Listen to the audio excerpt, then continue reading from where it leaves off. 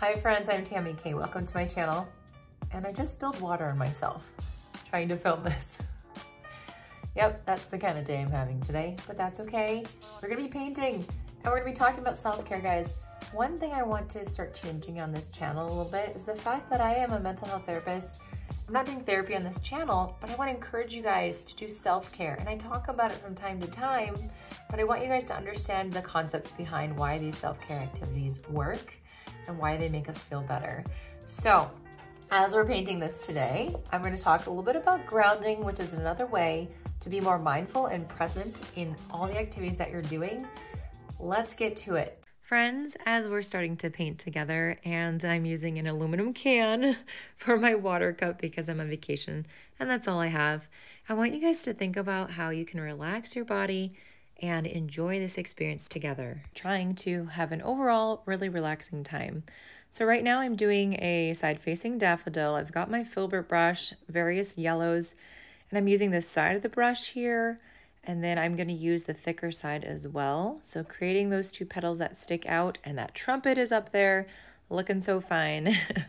um, adding in some more petal shapes here, and I think one more on the the front side right there where the trumpet is. Now I left some white space. I'm keeping this really loose and I'm just going to start changing up the values, the lightness and darkness of the yellows as well as the shade of yellows. So now I'm doing a front facing and I've just left this middle really kind of like a star shape, really pretty little starburst happening there. Now I have my reference photo I am not copying it in the least, but it is giving me a lot of inspiration. So when you see me painting, especially loose, you're going to see often I will have some type of photo or a reference from a book, and it just inspires what I'm doing as I'm painting this. So you can see I'm twisting and turning the brush, different angles, just so that I can get um, the different petal shapes. Now I'm going really fast with this one. Um, this one is, it's just got a lot of spiky lot of layered petals and you can also put in some more of that paint if you want to do some more concentrated paint. So the point of this exercise as I'm adding some white and lightening up that lemon yellow is to just find a space where you can take care of yourself, where you can relax.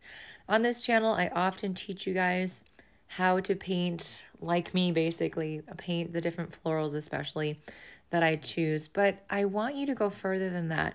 As a mental health therapist, first and foremost, as my career, I want to encourage you just to let go, just to start putting these brushstrokes on paper.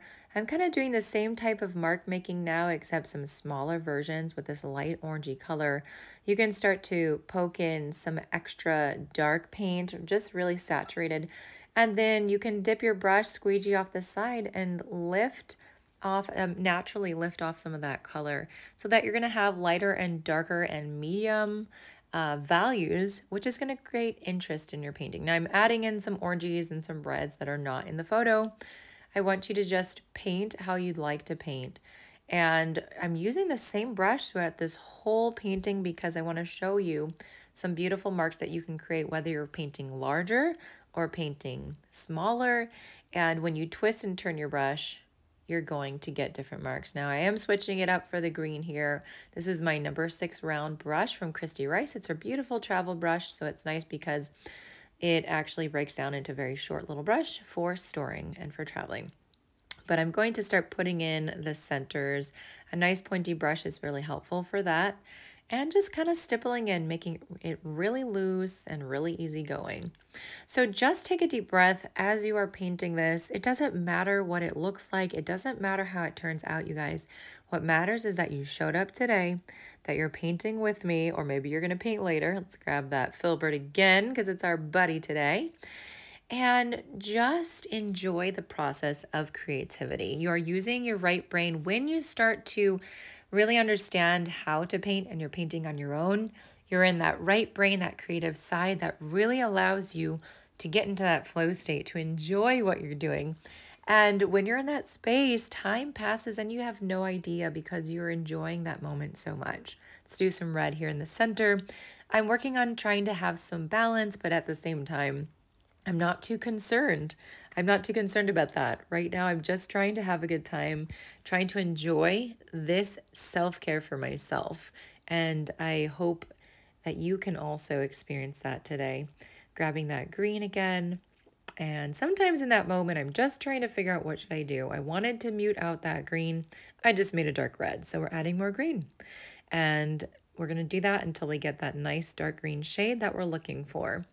I like to vary up the greens because it keeps your painting interesting and it keeps the viewer interested as well. So let's go ahead and establish some stems for these florals. I'm not doing a tight bouquet today. We're just kind of doing this spray of flowers. We could do a vase, but I want to keep it easier, a little easygoing. So just some fun little arced stems over here connecting those tiny blooms together and kind of connecting everything into one bunch as all the stems are just flowing kind of into that center point in the painting. I wanted to mention something called grounding as well today. And grounding is this idea of when you're frustrated, you're anxious, you're worried, being able to get yourself back into your senses. What can you see, smell, taste, touch, and hear? Sometimes it's as simple as going for a walk in the grass, taking off your shoes and allowing your toes to just feel what it feels like to have them in the grass. Um, sometimes it's just touching a blanket and feeling the textures of that blanket. It's reminding you to be in that moment. You're present. You're not worried about the past or worried about the future. You're just there in the moment of what you're experiencing. And I hope that this is something that you can start to experience on a regular basis. As you're sitting down to create, to paint, to do art, whatever it is that your art form is, maybe it's even just playing music. And I don't say just for any reason other than maybe that's what brings you joy. And within that, when you start to put in your own creativity and start to make your own composition, music or art or otherwise, you start to experience that joy that comes when you are inventing something on your own. Let's continue with this mark making. See how simple this is, the side facings especially. Just some nice orange mixed in with my yellow and twisting and turning that brush is what's going to get you the most interesting and I would say most interesting and creative marks here. So, one of the things your brain is involved in when you are doing this exercise is you are analyzing where to put things. If you're following this tutorial, maybe it's not so difficult for you. Um, but if you're doing this on your own, you have to figure out what's a good, attractive composition. If you don't have a reference photo that you're following exactly, this is challenging. And it's challenging the left side of your brain, figuring out where to put what, what colors and all that. And that's what I'm using today. I'm I'm I'm speaking to you, I'm explaining all this information using my left brain. But when I was painting this, which I did on my own before voiceover, I was using the right side of my brain because I was just experimenting and playing around and getting lost in the moment. Um, I don't think I did so much analyzing because I had a photo that I roughly followed, um, but I was really just in that moment of forgetting the time, forgetting if I was hungry or tired or whatever it was. And I was just enjoying making something with my own hands. So now um, getting back to the tutorial, we're just adding in some more of those thin stems. I do love a nice pointy round brush and all the supplies will be linked for you guys um, in the description of the video if you want to check them out. This palette was sent to me um, by the Paul Rubens people, and it's one of their newer palettes. It's called Qiaomei, although I'm not exactly sure how to pronounce it. But it's a really cute palette here. It's got a lot of colors and this tray on the right actually comes out so you can use the bottom too. I do love a lot of space for mixing and so this one is great. And it's a bit smaller than some of my other palettes so it's really nice for traveling as well. All right, we're to stipple in the center again. So we've done the first layer of our watercolor florals and you might want to take a step back and just kind of look and see where do I need to start darkening things up. So I feel like I could leave it with this first layer. It's a really quick, snappy painting, was really fun to do. But if you're if you're up to it, you can go ahead like me and start adding in not only some tiny little blooms to start filling in the space, but then we will eventually add some more saturated paint just to create some more texture and shadow and some nice pops of color as well. So I hope you are excited to pick up your own filbert brush sometime. They're wonderful. Uh, they just make florals, I should say. I was going to say life a lot easier, but when you're doing florals, it makes it a lot easier. Grabbing some splatter, putting it on my page here, just a little bit of light green color because I love splatter. If you don't know that by now, keep watching my videos and you will soon know this is a fact. All right, a little bit of green here for some of those side facings and just adding in that pop of color wherever you are seeing that it is necessary. Here I'm just kind of looking around, finding the spaces where a little green needs to show up in this painting. So if you need to darken up some of your stems or add just a little sprig, then go ahead and do that right now. Keep it loose, keep your hold on your paintbrush loose as well, and that's gonna create more of a loose painting in general. So I thought a little center here was in order. This one got forgotten. So we just add it wherever we need it.